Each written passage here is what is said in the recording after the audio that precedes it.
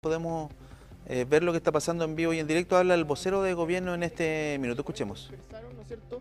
Eh, expresaron su voto, expresaron su opinión de la manera eh, más legal posible, que es mediante el, mediante el voto. Por lo tanto, cualquier forma de manifestación es importante, pero el voto es la principal en democracia. ¿Conoce usted, Seremi, cuánta es la gente que está habilitada para votar acá en la región? La- Más o menos, para considerar cuánta gente podría participar también este fin de semana. En la región del Biobío es más de 1.300.000 personas eh, las que están habilitadas para sufragar y obviamente esperamos que los números puedan ir, los números de participación, porcentaje de participación puedan eh, ampliar, que esta es una elección importante. Acá elegimos presidente, elegimos en nuestra región senadores, diputados y también consejeros regional y cada una de estas autoridades tiene repercusión en el día a día, en, en lo que todos vivimos cotidianamente, por lo tanto es importante que las personas puedan expresar su opinión. Respecto de los locales de votación, ¿cuándo ya van a estar listos? ¿Sabe también el número de ellos? Efectivamente, eh, Fuerzas Armadas, ¿no es cierto?, entra a, a- toma posesión de los locales de votación eh, 48 horas antes, por lo tanto es importante que las personas puedan eh, saber que este es un proceso totalmente tranquilo. El CERVEL, en, colaboración con las Fuerzas Armadas, siempre han hecho un papel impecable, ¿no es cierto?, en llevar adelante los distintos comicios y también poner en la palestra que hace poco tuvimos elecciones en pandemia, por lo tanto, votar es seguro siempre y cuando nosotros tomemos todas las medidas sanitarias correspondientes que ya conocemos, como la mascarilla, cómo llevar el lápiz pasta azul propio para no tener que manipular el de otras personas y ojalá también alcohol gel para y siempre mantener distanciamiento físico de las demás personas. Seremi, ¿cómo se va a garantizar la seguridad de las personas en la ruta P72 en la comuna de Tirúa y Cañete que eh, ha tenido una serie de incidentes durante estos últimos meses? Efectivamente existe un estado de excepción, el cual se prorrogó. Eh, nosotros agradecemos ¿no es cierto? a los parlamentarios que apoyaron esta prórroga. Y efectivamente existe un contingente eh, policial acompañado de Fuerzas Armadas que van a buscar brindar ¿no es cierto? Eh, todo el apoyo en seguridad para las personas. Y efectivamente el domingo se espera que con mayor, con mayor razón se esté resguardando eh, no solamente esa ruta, sino que todas las rutas, ¿no es cierto?, Eh, principalmente en las provincias que están en estado de excepción, eh, para obviamente permitir que las personas puedan ejercer su, su derecho a voto, que es, es algo, ¿no es cierto?, es un derecho de, de todos los chilenos. Por lo tanto, acá existe un contingente policial, existe contingente de Fuerza Armada y obviamente se va a hacer valer el derecho de las personas. medidas ante eventuales celebraciones, porque alguien va a querer salir a celebrar y entiendo que no es tan fácil ni es tan común, estamos en pandemia, va a haber dos provincias que van a estar en, en estado de excepción en términos prácticos. Efectivamente, eh, el llamado principal eh, a las campañas, ¿no es cierto?, que quieran celebrar a respetar las medidas que se están imp- las medidas que todos con- es las personas que quieran celebrar están en su derecho, ¿no es cierto? Siempre se dice que esto es una fiesta de la democracia y por lo tanto eh, lo- los que resulten vencedores por supuesto que pueden celebrar, pero siempre manteniendo eh, distanciamiento físico, obviamente la mascarilla y obviamente también respetando los aforos, que es lo principal que se esperaría de alguien que eh, espera ser autoridad. Sentido, se confirmó que Yarna Proboste va a cerrar campaña acá el día jueves, considerando el tema de los aforos. ¿Qué llamados usted en ese sentido? principalmente es a respetar aforos. eh, de repente uno ve eh, que autoridades intentan, eh, o perdón, candidatos intentan, ¿no es cierto?, bypasear al- algunas de estas, de estas medidas o, quizás relativizarlas, pero lo principal es, como vuelvo a repetir, si una persona aspira a ser autoridad, aspira a que las demás personas respeten, ¿no es cierto?, tiene que partir eh, por casa ese respeto, por lo tanto, respetar aforos y respetar distanciamiento físico y respetar, ¿no es cierto?, todas las medidas sanitarias que conocemos ya hace bastante tiempo.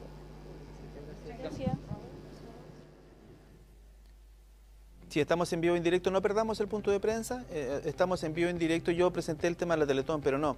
Este punto de prensa es sobre el transporte, cómo va a operar el sistema de transporte durante el proceso eleccionario. Y ahí habían algunos anuncios que iba a ser el CRM de Transporte. Está hablando el vocero de gobierno sobre los detalles de este proceso eleccionario. No sé si ahora está hablando CRM Transportes o quién está hablando. Sí, eh, el punto de prensa, podemos mirar el punto de prensa mientras yo relato. Sí, entiendo que es de F, aparentemente sería el que va a hablar en este minuto. Escuchemos. El día domingo vamos a estar operando con 28 servicios eh, ese día, totalmente gratuito. Los torniquetes van a estar liberados del cobro del pasaje Por lo tanto, nosotros invitamos a todas las personas que viajen con tranquilidad, con normalidad. Repito, nosotros tenemos 28 servicios, partimos a las 7.45 de la mañana hasta las 20.15 de la noche.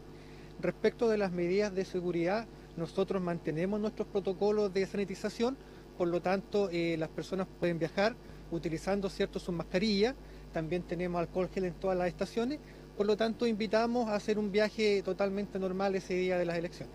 Ahora va a ser- El, el servicio Cortolaja eh, opera con ocho servicios diarios, pero la tarifa no es gratuita del Cortolaja. Solamente el bio- operando, no va a estar operando y solamente el biotren funciona de manera gratuita. ¿El biotren va a funcionar en los horarios normales de ahora o tiene un horario especial? El biotren parte su jornada a las 7.45 de la mañana y termina a las 20.15 de la noche. Respecto del horario en detalle se pueden consultar en la página web, pero iniciamos con frecuencias cada 15 minutos en la mañana.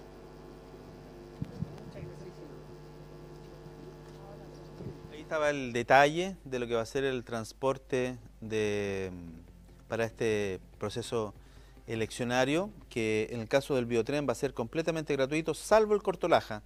Lo dijo el representante de EFE, que estaba hablando recién con los medios de comunicación. Este punto de prensa se desarrolla aquí. Yo por la imagen que veo atrás, esto es la estación intermodal, eh, que está ahí mm, frente al mercado provisorio, como por ese sector está. Y, mm, y ahora le toca el turno de hablar al eh, delegado presidencial, don Patricio Kuhn, que seguramente va a hacer referencia al sistema de transporte y al tema de seguridad también, que va a ser un tema importantísimo eh, para evitar eh, posibles desórdenes, eh, para ver el tema de los atentados. Probablemente no le ha preguntado por el atentado de Curanilahue. Tuvimos un atentado en Curanilahue durante la última jornada que dejó eh, dos vehículos destruidos y cuatro y cuatro personas, cuatro trabajadores lesionados. Así que seguramente se le va a preguntar por eso al delegado presidencial Patricio Cuna. Esta señal nos llega en vivo e indirecto desde el centro de Concepción, específicamente la estación intermodal de Concepción. Vamos a escuchar al delegado presidencial Patricio Cun.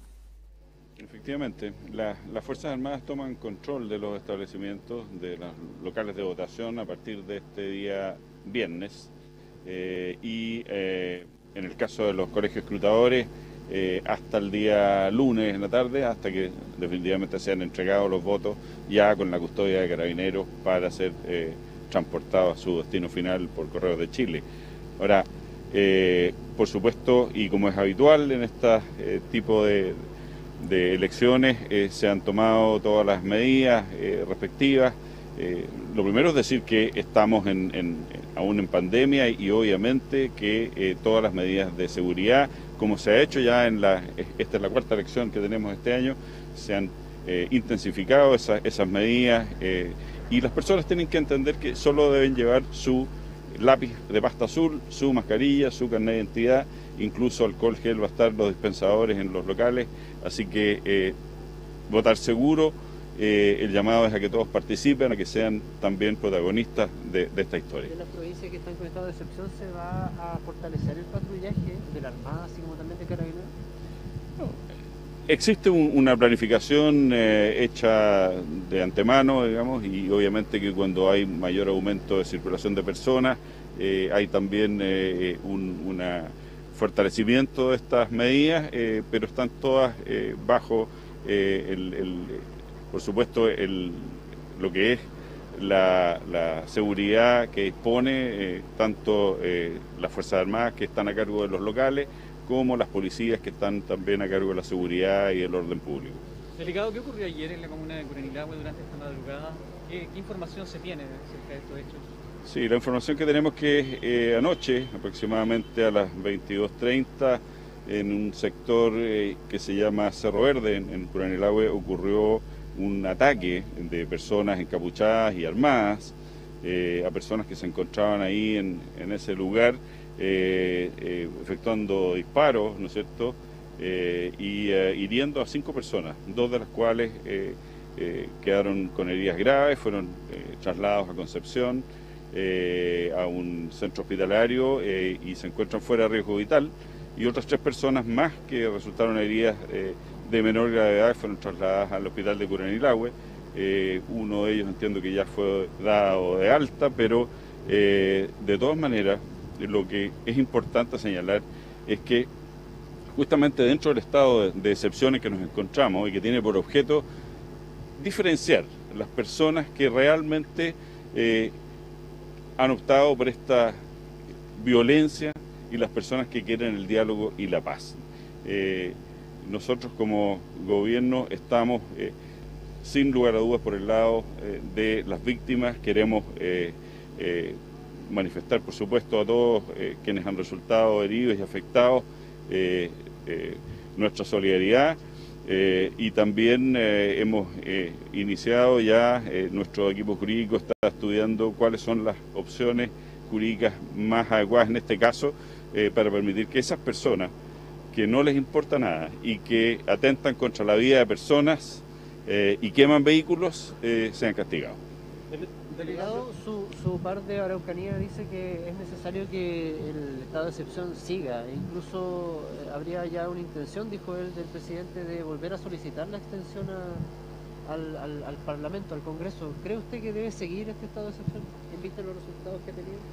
Sí, el, presidente está evaluando permanentemente esa situación. Eh, obviamente que hemos visto que los resultados, el balance en estos veintitantos días que llevamos de estado de excepción, eh, las cifras de actos violentos han disminuido, por supuesto que no a cero, nadie, nadie espera eso en ninguna parte de Chile, pero sí eh, creemos que es una, también el crear un clima adecuado para poder avanzar en otras materias, como por ejemplo el diálogo del que todos hablan, es indispensable, no puede ocurrir el diálogo dentro de un ambiente de violencia eh, y por lo tanto creemos que este estado de excepción está cumpliendo con su objetivo eh, y eh, se evaluará, ¿no es cierto?, en su momento la posibilidad de extenderlo. Delegado, yo le quiero preguntar porque por lo de San Miguel en Cañete, ustedes, el gobierno, también uno de los efectivos que se produjo lesionados, presentaron querellas por los distintos delitos.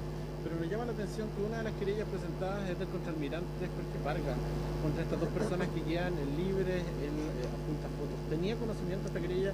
¿Él fue parte del operativo que se estaba dando en Cañete? ¿Estaba en el lugar?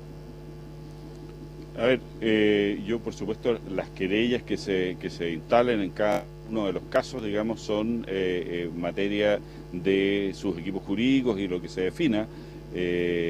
yo, por supuesto, me interesa como todos y, al gobierno que todas las materias se aclaren, que todos los participantes entreguen el máximo antecedente, de manera que se llegue finalmente a, aclarar absolutamente lo que allí ocurrió.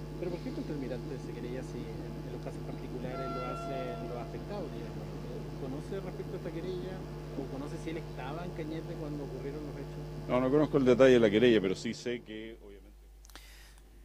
Como suponíamos, al delegado presidencial se le iba a preguntar efectivamente por el último ataque, eh, el último atentado ocurrió esta vez en Curanilahue, donde un grupo de encapuchados quemó vehículos y mm, hirió a cuatro trabajadores forestales, es lo que tenemos entendido, a eso se refería el delegado presidencial, don Patricio Kuhn. Ojo que la Convención Constitucional la semana posterior a las elecciones va a sesionar, entiendo, aquí en Concepción, en Lota, en Talcahuano, Alto Biobío y Curanilagüe también. Por lo tanto, el tema de la seguridad va a ser un tema